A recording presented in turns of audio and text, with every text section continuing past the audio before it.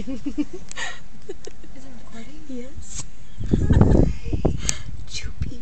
She got caught going 57 in a 40.